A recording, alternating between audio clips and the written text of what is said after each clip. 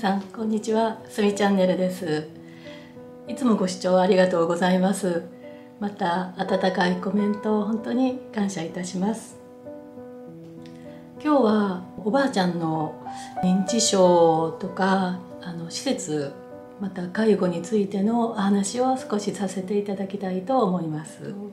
現在おばあちゃんはあの96歳なんですけれどもおばあちゃんの認知症に家族が向き合い始めたのがおばあちゃんが80過ぎぐらいだったと思います。70代の時でも物忘れというか同じことを何回も言うっていうそういう症状はあったのですけれども80ぐらいからそれがかなりこうひどくなりましてうん例えばお財布とかよくある話なんですけれどもお財布とかなんか大切なものをすぐなくなったなくなったと言って誰かに盗まれたんじゃないかなとかすごくあの怒りっぽくなって攻撃的になってきたんですもちろん家事全てのことは自分では全部できてるつもりでいるんですよね。で全くもうできなくてそれで私なんかがちょっとこう家事をするようにするとなんで自分はできてるのにあなたがいろいろ家のことをするのみたいな感じで非常にあの不機嫌になる。まあ、おじいちゃんも腰が悪かったりとかしてちょっとこう介助が必要な状態だったのであの何かするたびにお世話してたりしたら非常に、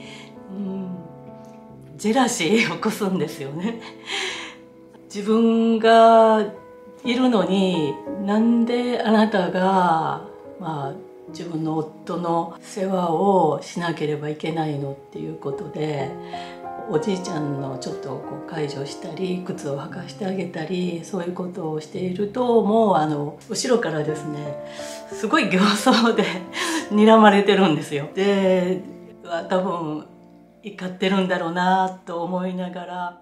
あのちょっと、うん、叩かれたりとか いろいろ暴力振るわれたりとかそんなんしててやはりちょっとこうムカッとあのやっぱり来ることもあったりとかでも私は他人だからあのちょっとワンクッションがあってまだなんかちょっとグッと抑えれるところもあったんですけれどもある日おばあちゃんがおじいちゃんにすごい剣幕で 怒ってでおじいちゃんも耐えかねてあの部屋からと助けてくれ みたいな感じであの呼ばれたことがあったんです。急いで部屋の方に行くと、まあ、おばあちゃんがえらい怒っておじいちゃんを責めていると。それでおじいちゃんももう困り果ててなんか私に助けを思わず呼んでしまったでそのもうおばあちゃんが怒ってる姿を見てとても私も悲しくなったんですよね。うん、とても優しい人っていうのはあの分かってたんですけれどもなんかあまりにあまりのその変わりようで私もすごく辛くなって思わずおばあちゃんに「あのやめてどうしてそんなことをする人じゃなかったでしょう」となんか私も涙ボロボロ出しながらあのおばあちゃんに言った時におばあちゃんが、まあ、それまでこう怒りで上げてた手を下ろしてなんかあの分からんのよなんかもう自分が何してるか分からんのよとつぶやいたんですよね。それを見た時にあそうだ。なんか周りの家族も本当大変振り回されて 大変なんだけれども一番辛いのは分からなくなってる記憶がなくなったり自分で何をしているのか感情を抑えれないことがどうしてなのかが本当にわからないあのおばあちゃん本人なんだとその出来事をきっかけでもっと認知症のことを知らなければいけないと痛感しました。あの。総合病院の、えーと、物忘れ科っていう物忘れ外来ですか。そこにおばあちゃんを連れて行って、うん、どういう形のどういう種類の認知症かっていうのを調べてもらいました。またこれ病院連れて行くのが本当に大変だってきっと皆さんもご経験あるかと思うんですけれども、まあ、本人にしたらなんで病院に行かなければいけないのっていう思いがあってなかなかあの病院に行ってくれないんですよね。でもまあこれはでもきちんと調べてお薬なり治療なりをあのしてもらわなければいけないと思い連れて行ったんですけれどもただであの検診してくれるなんかこういう券が来たのでこれただやからすごい「ただよただよ」っていうことをすごいアピールしてそして病院総合病院の方にあの連れて行った記憶があります。おばあちゃんの認知症は、えーと、脳血管性認知症っていうんですか？あの脳に小さな小さな脳梗塞がたくさんあるそれが原因でもういろいろ記憶障害になっているとそういう診断がつきました。ケアマネージャーさんにあの来ていただいて状況をしっかり見ていただきいろいろとこれからさどうしていったらいいかっていうことを相談しました最初の頃は要介護にでやがて要介護3っていうような状態になっていくんですけれどもでサービスかショートステイとか介護保険を使えるだけ使ってこちらの方もできるだけ負担にならないようにあのしましょうっていうことでした。ご近所の方々にも恥ずかしがらず、えー、包み隠さず、まあ、おばあちゃんがこういう状態ですっていうことをあのお知らせしました。ご近所の皆さんにお知らせしててもし何かそういう時があってもすぐ声かけしてくれたりとか連絡してくれたりとかそういうことを安心できるので、まあ、これは恥ずかしがらずに近所にはおばあちゃんの症状をお話ししておきました。おばあちゃんといろいろ付き合ううちに、まあ、いろんなことを勉強になったんですね。これはまあおばあちゃんに限ってのことだと思っていろんな症状の方があって一概には言えないと思うんですけれどもおばあちゃんの場合は否定しない。なんか否定するとあのすごく怒ってくるのであの全然それがもう全くあのめちゃくちゃなことを言ってても「あそうそうですね。そうですね」と肯定してあげると本人はそれで納得しちゃうんですよね。で頭ごなしに否定するとすっごくあのやっぱり怒り出したり機嫌悪くなったりあのするのでここはまあ本当に、ま、相手は病気してるんだと思ってうんうんそうそうそうすごいねっていう感じで 接していましたやがておじいちゃんが病気になりあの入院し半年闘病した後あの亡くなってしまうんですけれどもその後やはりおばあちゃんの病状はますますひどくなっていくんですよね。でその前でしたらまだまあ、めちゃくちゃなことはしてるんですけども起きていろいろすることができていたのがベッドで寝ることが多くなってきましたほとんど一日中昼間はもうあのベッドの中であの過ごすようになって夜中にやっぱり家を抜け出して徘徊するようになっちゃったんですよね。でできるだけ昼間を起こしてで夜はぐっすり寝てもらおうと思ってるのに昼間はもうベッドから出てくるのを嫌がる着替えもさせてくれないお風呂も入ってくれない。でまあトイレは自分でもちろん行けてたんですけれどもフラフラしながらトイレ行くのでもう必ずついてトイレまでついていくというような状態で。で狭いあの昔の家屋ですからやっぱりつまずいたりするものもあるし自分でふらふら歩いてよくこけちゃって慌てて起こしに行くっていうこともあのありました。夜中にそっと抜け出して徘徊するようになりてそれもあの犬を連れて本人は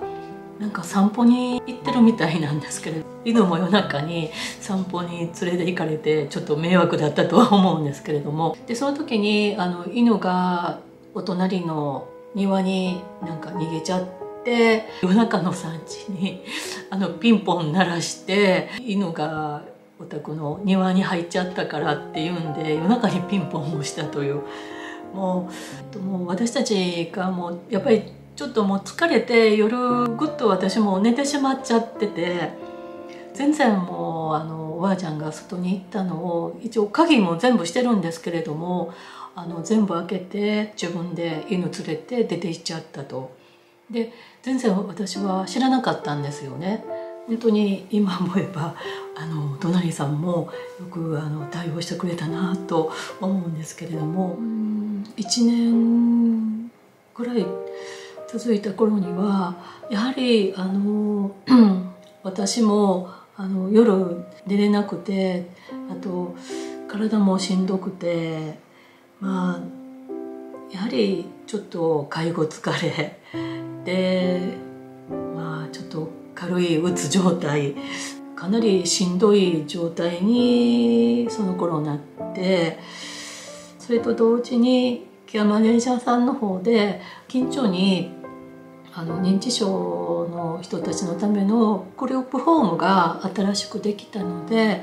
あのどうでしょうかというお話を持ってきてくれましたその頃はまだその私たちの町の近くにグループホームっていうのは新しくポツポツとでき始めてですごく入る方が多くてなかなか入れないような状態だったんですよね。でちょうどあのそういうグループホームができてあの今空いてるのでどうですか？もうおばあちゃんそちらの方に入りませんか？っていう話を持ってきてくれました。正直あの嬉しかったです。助かるなって思ったのが本当に正直な気持ちです。結局あのそちらのグループホームにお世話になることになったんですが最初の頃はやはりかなりおばあちゃん抵抗しました。少しずつおばあちゃんもこう慣れてきてそういう施設にいると他人の方があの言ってくれるとなんかやっぱりこうプライドみたいなのがあるのでしょうかね。きちんとする。ちゃんと話を聞いて着替える。家族にしたらそういう生活ができるっていうのは本当にありがたいなとその時あの思いましたね。でそのグループホームの費用なんですけれどもその当時で約月18万円お買い物に行ったりとか買い物をしたりとかそういう時にあの一応まあお小遣いとしてお金を預けるんですけれどもだからそれでだから約まあ19万20万弱ぐらいは毎月あの費用がかかりました。まあその費用は生前あのおじいちゃんがおばあちゃんのために残してくれてたお金を使うことができましたでだからとてもあの本当に私たちはまだ恵まれててあのありがたいことだと思います。グループホームが4年ぐらいだったかな。あのお世話になりその後私たちのあのこれからの生活をどうしていこうかっていう思った時にあの今のままじゃなくてこちらの神戸に変わろうと、まあ、そういう話に至っていくんですよね。っていうことはおばあちゃんをまた今度神戸の方にあの連れてこなければいけないという話になります。こちらの